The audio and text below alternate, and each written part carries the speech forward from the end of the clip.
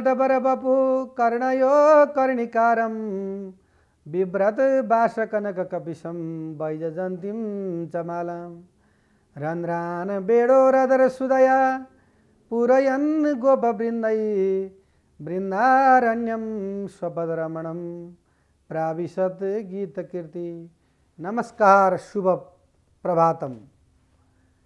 इस परम पवित्र पावनी प्रसंग में आदरणीय सज्जन भक्तवृन्दहरू हामीले सात बार मध्येमा शुक्रबार र शनिबारका बारेमा वर्णन गरियो। त्यस्तै प्रकारले आज आइतबारको पनि हामी यहाँ महिमा गरिरहेका छौँ। शनिपुत्र यानि श्री सूर्यनारायण भगवान् देदीप्यमान भइबक्सिनु भएको छ। उहाँले कतिखेरै पनि आफ्नो कर्मलाई बिसाउनुहुन्न। जसरी वायुदेवले आफ्नो कर्म गरिरहनु भएको छ। त्यस्तै प्रकारले प्रभु परमात्मा भगवान् सूर्यनारायणले पनि अहर्निस भनेको चौबिसै घन्टा आफ्नो कर्तव्य निभाइरहनु भएको छ। भगवान् भन्नुहुन्छ वायु र गन्धानी मत भयात सूर्य तपति मत भयात सूर्यले मेरो भयले तपाउनुहुन्छ वायु मेरो भयले लागिरहनुहुन्छ र सूर्य भगवान्लाई हामीले हृदयमा धारण गर्ने हामी एउटा यस्तो पद्धति विधिलाई बताउँछौँ। गीतामा अर्जुनलाई भगवान् भन्नुहुन्छ हेर अर्जुन तिमी मैले भनेको मान जसरी सूर्यले एकत्र एक टङ्कार भएर जसरी संसारलाई तपाइरहनु भएको छ त्यस्तै प्रकारले तिमीले पनि सत्य सङ्कल्पले सत्सङ्कल्पले मेरो आराधनलाई मान। भन्दा अर्जुन भन्नुहुन्छ प्रभु चञ्चलामी मन कृष्ण प्रमाथि बलभद्रियम हे प्रभु यो मन धेरै चञ्चल छ। यो प्रार्थ शरीर त यहाँ छ प्रभु तेरो मेरो मन यहाँ छैन प्रभु। मेरो मन कहाँ गइरहेको छ? मेरो का मन कहाँ डुलिरहेको छ? त्यस कारणले मलाई एउटा योग ध्यानको विधि बताइदिइबक्छु जसरी सूर्य भगवान्ले जसरी एकत्र कर्म गरिरहनु भएको छ भन्दा भगवान् भन्नुहुन्छ धिय भनेको बुद्धिमान मनुष्यले। यसै कलिधर्मस्य कश्य दूषण। यसमा अनेक प्रकारका मनुष्यहरू हुनुहुन्छ। अनेक प्रकारका भक्तहरू हुनुहुन्छ। कोही मनमर्जी यानि आफ्नो इच्छाले जे चाहन्छ त्यही गर्नुहुन्छ। कोही भगवान्को आराधना गर्नुहुन्छ र ध्यानको महिमा भगवान् भागवतमा वर्णन गर्नुहुन्छ। के छ त भन्दाखेरि जसरी सूर्य भगवान्ले एउटा ध्यान दृष्टिद्वारा यो संसारलाई नै तपाउनु भएको छ त्यस्तै प्रकारले विद्वानगणले के गर्नुपर्छ भन्दाखेरि पहिला आसनलाई जित्नुपर्छ। जितासनो जित श्वासो जित सङ्गो जितेन्द्रिय स्थूले भगवतो रूप मन सन्तारए ध्रिया पहिले के छ त भन्दाखेरि आसनलाई जित्नु पर्यो। पाँच मिनट दस मिनट पन्ध्र मिनट पद्माकसन पद्मासनमा बसेर हामीले भगवान्लाई ध्यान गर्नु पर्यो। अनि सङ्घलाई जित्नु पर्यो भक्तवृन्द। हजुरलाई अवक्ष चिज यदि खानुहुन्छ भनेदेखि त्यो चाहिँ नि जहाँ पनि पाइन्छ यदि एक लिटर हजुरले पानी पान गर्नु चाहनुभयो भनेदेखि त्यो पानी उपलब्ध हुन सक्दैन। कारण के छ त भन्दाखेरि सज्जन वृन्दहरू सत्य भन्ने चिज पाउन गाह्रो छ र असत्य भन्ने चिज चाहिँ नि जहाँ पनि पाइन्छ।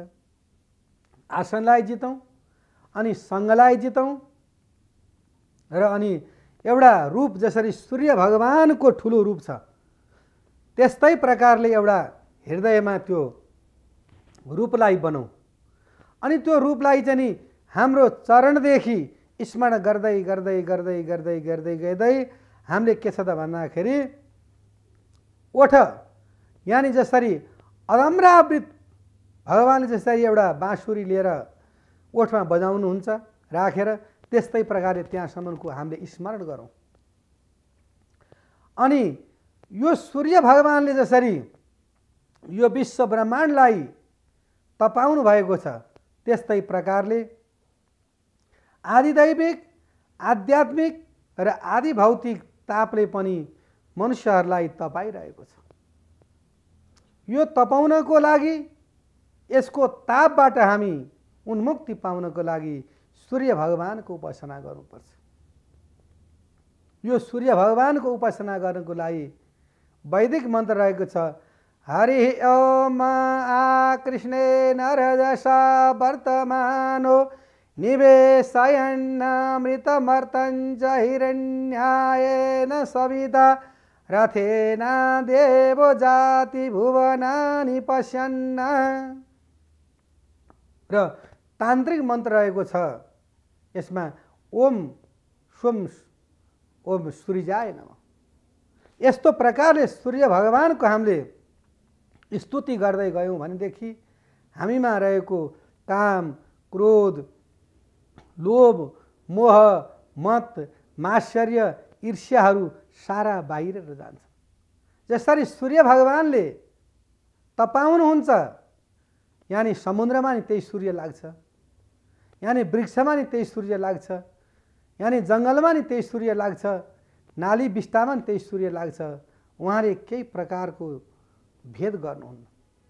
त्यस्तो प्रकारको भेद के त भन्दाखेरि हामीमा पनि हुँद हुँदैन। यदि हामी भेद गर्छौँ भने हामीमा भेद भयो भनेदेखि त्यो भेदबाट के त अहङ्कार उत्पन्न हुन्छ। अहङ्कार उत्पन्न भइसकेपछि सदनबिन के हुन्छ त भन्दाखेरि त्यसमा रिस हुन्छ ईर्ष्या हुन्छ वैमनस्यता हुन्छ। त्यो वैमनस्यताले गरिकन हामीलाई कुनै प्रकारको पनि के छ त भन्दाखेरि भक्ति प्राप्त हुन्छ। र जसरी आइतबार हामी नित्य प्रातकालमा उठेर तलाउ सरोवर नदी नाला इनार यदि हामी सक्दैनौँ भनेदेखि हाम्रो गृहमा बाथरुममा हामीले स्नान गरौँ।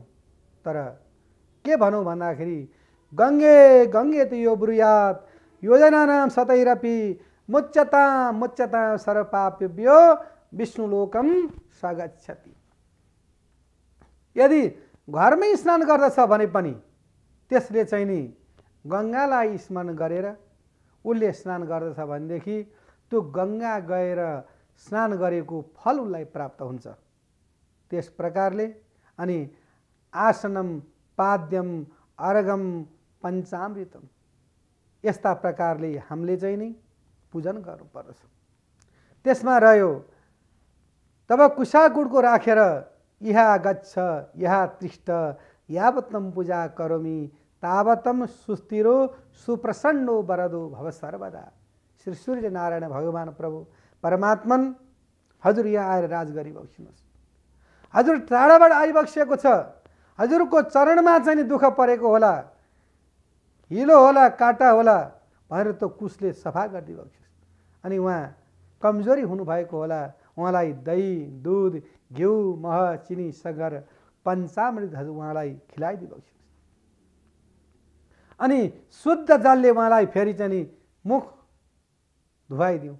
अनि उहाँलाई चाहिँ नि हामीसँग केसर कुङ्कुमहरू अबिर चन्दन रक्त चन्दन श्रीखण्ड चन्दन के छ त्यो हामीले चाहिँ यस्तो प्रकारले अर्पण गरौँ। अनि दक्षिणा अर्पण गरौँ वस्त्र अर्पण गरौँ। सूर्य भगवान् पुरुष ग्रह भएका कारणले सूर्य भगवान्लाई यज्ञ पवित्र हामीले यस्तो प्रकारले चढाउँ। जल। यदि तामाको लोटामा रविवार सन्डे यानि आइतबार हजुरले सूर्य भगवान्लाई सम्झेर त्यो सूर्य भगवानको किरणबाट त्यो छाया देख्ने गरी हजुरले चाहिँ यदि जल चढाउनुहुन्छ भनेदेखि हजुरका रोकिएका कामहरू सबै दूर भएर जानेछ यस्ता प्रकारले आसनम पाद्यम अर्गम पञ्चायतम यहाँ गच्छ या तिष्ठ यावतम पूजा करोमी। तावतम सुस्थिरो सुप्रसन्न वरदो भव सर्वदा। यसरी सूर्य भगवानको आराध्य हामीले आइतबार गर्न सक्दछ। जसरी हामी सात बारमा नै हाम्रो जन्म हुन्छ सात बारमा नै हाम्रो अन्तिम हुन्छ। आइतबार सोमबार मङ्गलबार बुधबार बिहिबार शुक्रबार शनिबार आइतबार। यो क्रम चलि नै रहन्छ। यस्तै प्रकारले यी बारहरूले यी तिथिहरूले यी पक्षहरूले यी नक्षत्रहरूले यी योगहरूले यी करणहरूले यी महिनाहरूले यी ऋतुहरूले यी वसन्तहरूले हामीलाई के त भन्दाखेरि मनुष्यहरूलाई ऊर्जा दिइरहेका छन् शक्ति दिइरहेका छन् ज्ञान दिइरहेका छन् विज्ञान दिइरहेका छन् ऐश्वर्य दिइरहेका छन्। यही नै मनुष्यको सद्बुद्धि हो। यही मनुष्यको सत्कर्म हो यही मनुष्यको सद्धाम हो र यही मनुष्यले गर्नुपर्ने कर्तव्य हो यदि मानव भएर मनुष्यताको व्यवहार गरिन सकेन भनेदेखि पशुभी समान पशु समान हुन्छ। पशुलाई कुनै प्रकारको ज्ञान छैन। मैले के गर्नुपर्ने हो? मैले के खानुपर्ने हो? मैले के लाउनु पर्ने हो? मेरो आमा भनेको के हो? मेरो बहिनी भनेको के हो? मेरो दाई भनेको के हो? उसलाई केही पनि ज्ञान छैन। त्यस प्रकारले मनुष्यमा ज्ञान छ भक्ति छ विवेक छ र त्यस सबै कुराको ज्ञान नै मनुष्यमा हुन्छ र सूर्य भगवान्ले पनि जसरी यो संसारलाई नै उहाँले एउटा ठेक्का लिनुभएको छ तपाईँ दिनुभएको छ त्यस्तै प्रकारले नै तपाईँ हामीले पनि आदरणीय सज्जन वृन्दहरू यो व्रतलाई गरौँ यो व्रत बसौँ यसको उपासना गरौँ र हामी साक्षात् परम पदमा प्राप्त हुनेछौँ भन्ने सम्मका प्रसङ्ग आजका यस प्रसङ्गमा वर्णन गरिन्छ। हरिओम तसत नमो नमः।